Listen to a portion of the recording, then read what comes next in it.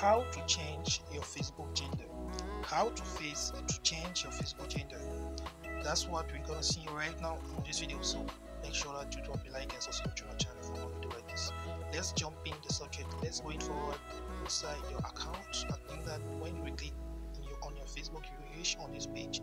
Try to select this three line on top the right side of your screen. So you click on the first line here view uh, your profile. On switching on this page try to select this line see more about myself.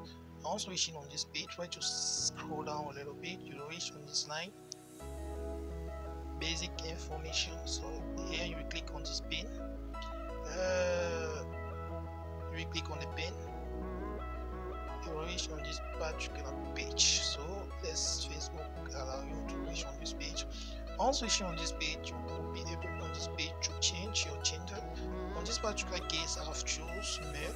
So for doing this video i will select female. So let's I will select female automatically. You see that the sign have going to female. So it means that the gender have been changed. So once doing that we click to save and automatically your gender will be saved your account gender your account facebook gender will be changed automatically let's go in back on my account. Uh, gender let me uh, let me uh, the page. So as you can see here it was male now it's female. So mean that the gender has been changed right? So if this video was helpful please drop a like and subscribe to my channel for more videos like this